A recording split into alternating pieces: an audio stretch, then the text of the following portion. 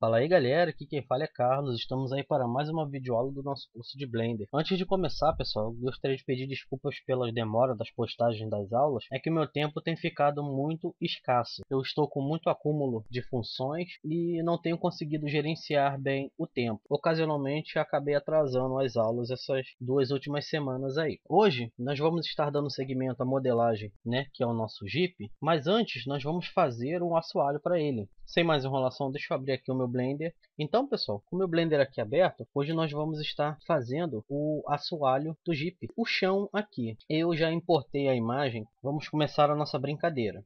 Eu vou ativar aqui o meu display, que é para que vocês vejam aqui todos os botões que eu estou apertando. E antes de começar, pessoal, eu queria passar duas informações para vocês. A primeira é, eu vou estar finalizando esse projeto aqui do Jeep, né? já tem muito tempo que nós não mexemos nele, né? então eu quero finalizar logo esse trabalho aqui. Na nossa aula passada, na, na parte dos cenários, né? nós fizemos mais uma evolução também. Eu quero finalizar logo esses trabalhos, que é para poder estar tá trazendo novos conteúdos para vocês. Eu estou com umas ideias aqui bem boas, mas preciso terminar esses projetos antes, né? Eu vou tentar finalizar eles o mais rápido possível, que é para nós começarmos novos projetos. Como o nosso Jeep já está um bom tempo parado, nós vamos estar adicionando aqui mais um, um detalhezinho para ele, que é o assoalho. Eu já importei a imagem e nós vamos estar fazendo este assoalho. Eu deletei o cubo, eu vou adicionar aqui um plano e vou entrar no modo de edição e vou arrastar esse plano aqui para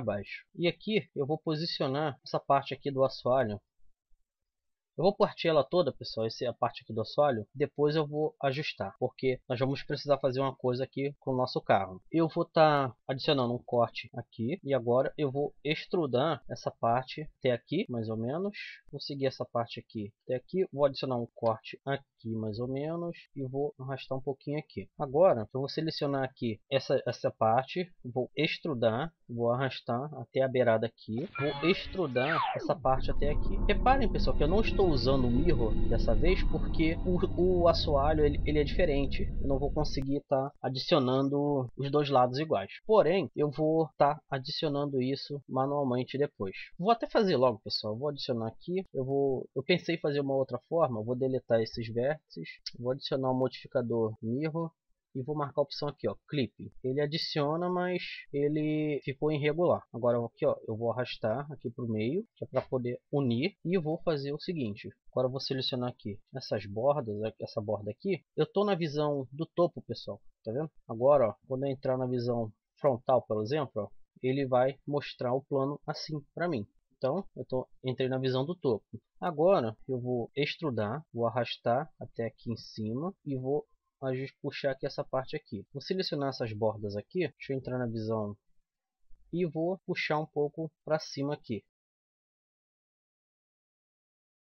Puxar um pouquinho mais aqui. Então agora eu vou vou adicionar um corte aqui mais ou menos e vou desmarcar a opção aqui clipping que ele vai me permitir separar aqui ó. Selecionar esse vértice ó tá vendo a gente pode, ó, marcar aqui de novo e vou, agora vou desmarcar. Agora aqui nós vamos precisar adicionar mais cortes, vendo? Que é para poder fazer esse buraco aqui da caixa de marcha. Eu não vou estar tá fazendo ele completamente perfeitinho, pessoal, porque depois a gente vai adicionar alguns detalhes. Eu vou adicionar aqui, ó, um corte aqui no meio, vou pressionar SX0 para alinhar todos e vou posicionar eles aqui, ó, no centro desse círculo aqui. Aqui, ó, posso puxar ele para cá, não tem, não tem problema. E aqui, ó, nós vamos fazer, nós vamos eliminar aqui esse essa aresta. Vou entrar no modo seleção de aresta, vou excluir essa aresta, vou selecionar toda a borda, vou pressionar W, eu vou aqui na opção ó, Loop Tools e vou mandar ele para círculo, que é para a gente poder alinhar ele aqui. Ele não está bem como um círculo, né, porque ainda falta muitos polígonos aqui, né. Nosso assoalho começa a tomar forma. Agora eu vou adicionar um corte aqui, vou pressionar SX0, que é para alinhar novamente. Vou selecionar esse vértice aqui ó, e vou arrastar ele até aqui mais ou menos. Aqui no formato do, do onde fica a caixa de marcha aqui. Até aqui mais ou menos. Acho que até aqui tá bom. Deixa eu descer mais aqui. Deixa eu selecionar todos esses vértices aqui. Vou descer. Agora eu vou entrar no modo seleção de face, vou selecionar aqui essas faces aqui e vou levantar elas um pouco. Ó. eu vou aqui, ó, extrudar e vou arrastar um pouquinho aqui. Tá vendo? Agora eu vou selecionar aqui, ó, vou selecionar aqui essa borda. Tá Puxar um pouquinho mais para cima para dar uma pequena ondulação aqui, né?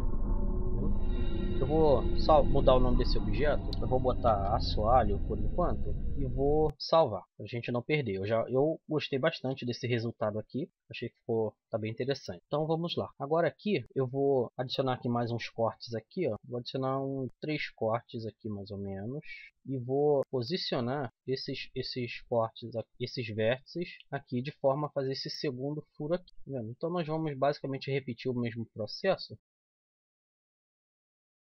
Lembrando, pessoal, quanto mais corte você adicionar, melhor vai ficar o seu projeto aqui. Eu estou fazendo uma parte aqui bem rápida, que é para que vocês vejam o procedimento. Agora, o grau de detalhes vai depender do seu capricho aí. Tá até legal esse resultado, ó, tá parecendo um carrinho de Fórmula 1, um aspecto interessante. Eu vou entrar aqui, ó, vou entrar no modo seleção de face, vou deletar essas duas faces aqui, vou selecionar de novo aqui opa, essa borda e vou, vou mandar ela para o círculo aqui, ó né, que é para ela ficar um pouquinho mais suave, né? Então, ó, quanto mais você caprichar, melhor vai ficar o seu projeto. Vou fazer o seguinte, ó, eu vou selecionar. Eu estava pensando, pessoal, em botar mais furos ali, mas os furos aqui são os furos do pedal, né? Do, do, do pedal do carro, né? Eu vou adicionar um corte aqui, né? vou posicionar esse corte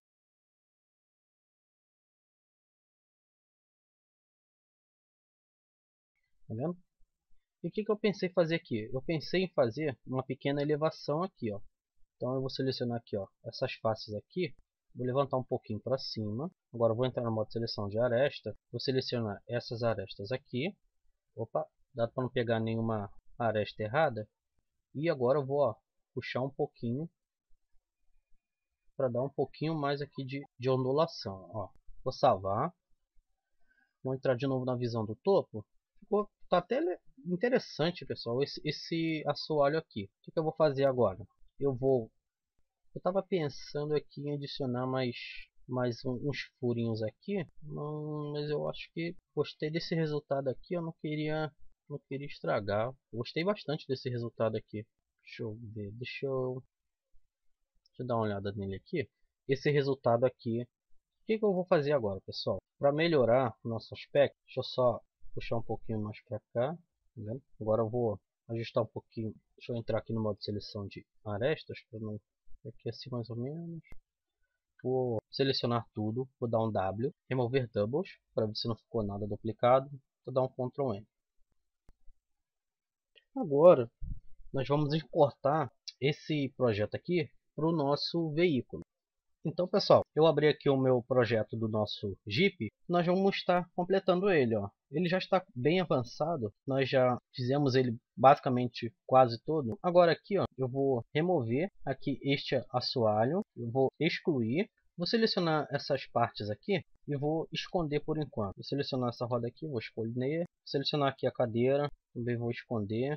Então vamos lá. Agora aqui eu vou importar o meu, vou linkar o meu objeto no append e vou linkar aqui o meu assoalho. Vou colocar aqui ó, objeto, assoalho, e vou importar ele. Então reparem que o meu assoalho ele está num, numa forma diferente, né? Então o que, é que eu vou fazer aqui? Deixa eu só desativar aqui a imagem da roda para não atrapalhar. Vou aqui com o meu objeto, eu vou excluir aqui o mirror. Agora eu vou rotacionar em Z 90 graus. RZ 90 graus. Vou entrar na visão do topo e vou escalonar aqui o meu assoalho de forma que eu encaixe ele aqui no meu Jeep.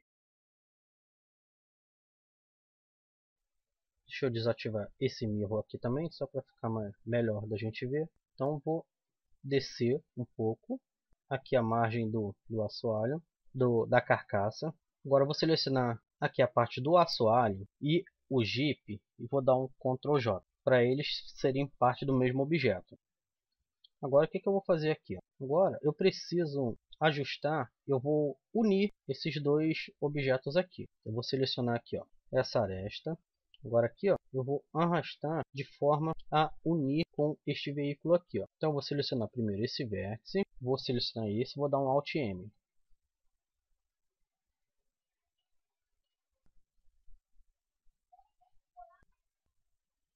Tá vendo? Então aqui eu vou, vou precisar adicionar um corte aqui, outro corte aqui. Tá vendo? Agora aqui você vai unir. Dá para você fazer separado também, pessoal, tá? Mas eu vou preferir unir, que eu acho que fica melhor. O objeto fica mais limpo, por assim dizer, né? O que acontece? A gente consegue manter um objeto mais detalhado sem estar tá perdendo muito, sem deixar ele muito pesado. É natural que ele fique pesado. Deixa eu só entrar aqui na vista frontal e vou adicionar aqui uns quatro cortes. Então, pessoal, como eu estava falando, é natural que ele fique pesado conforme você for adicionando os vértices. Porém, eu acho que ele fica com uma qualidade melhor o nosso objeto aqui. Hum, eu acho que por enquanto aqui tá bom. Agora eu vou selecionar aqui todos esses vértices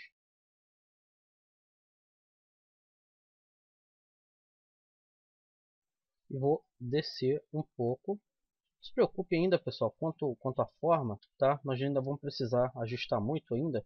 Agora eu vou adicionar aqui o mirror para me ver. só vou precisar aqui, ó, ajustar essas linhas aqui, ó. Né?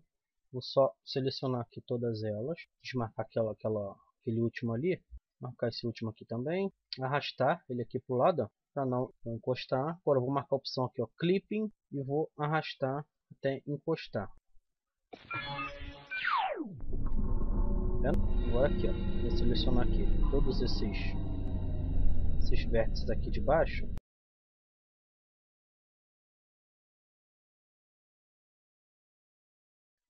Tá vendo?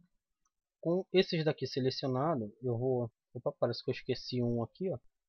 Esse daqui eu vou arrastar até aqui embaixo. Pressionar SZ0, que é para alinhar eles aqui embaixo e vou arrastar aqui para o final do meu veículo aqui. Então, ó, não se preocupe quanto tenha ficado. Vou botar aqui, ó, SZ0.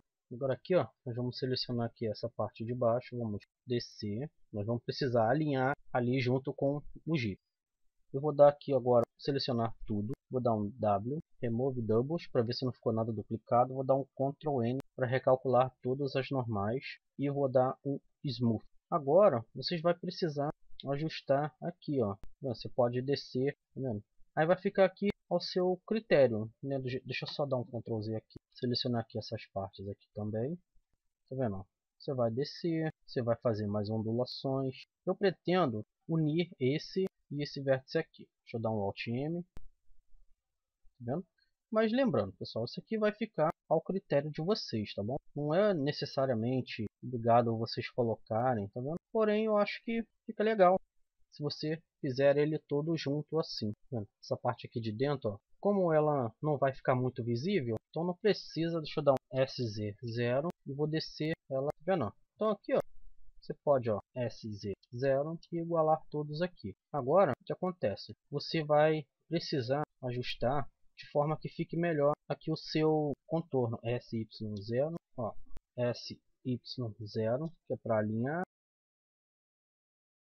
Vá mexendo aí ao seu critério, faça mais experiências aqui. Então, ó, reparem que ele deu um, um aspecto aqui bem, bem legal aqui na parte do, do nosso carro. E quando nós aplicarmos aqui o um modificador subdivisão, ele vai dar um aspecto mais arredondado, tá vendo?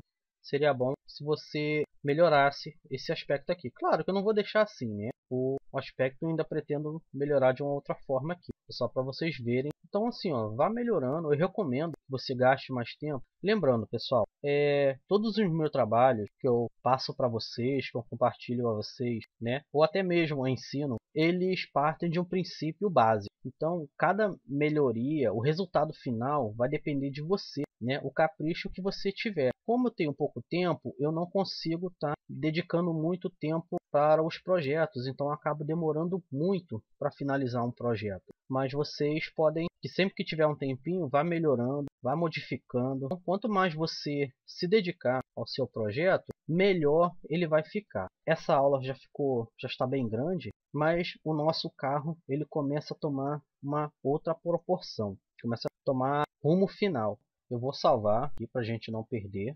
O resultado final vai depender de você. Como eu estava falando, como eu falei no início, pessoal, eu vou estar tá finalizando este projeto. Todos os projetos eu vou estar finalizando o mais rápido que eu puder. Então, se você teve alguma dúvida, deixa aí nos comentários, diga o que, que você está achando, né? Exponha sua opinião aí. É, eu quero terminar logo esse projeto do carro aqui, ó, que é para gente partir para outros projetos, pessoal. Eu tô com uns projetos aí, ó, bem interessantes para a gente fazer. Porém, eu não quero deixar nenhum projeto do canal inacabado. Eu quero finalizar todos para a gente partir para um novo projeto. Eu já estou preparando aí um material de algumas outras séries que eu estou pretendendo criar, mas antes eu pretendo terminar esses projetos aqui. Se você gostou do meu trabalho, deixa aquele seu like aí para fortalecer o canal. Se você não gostou, diga por que, que você não gostou. O importante é você avaliar o trabalho. Eu vou ficando por aqui. Um forte abraço e vejo vocês em uma próxima videoaula com a continuação. Fui!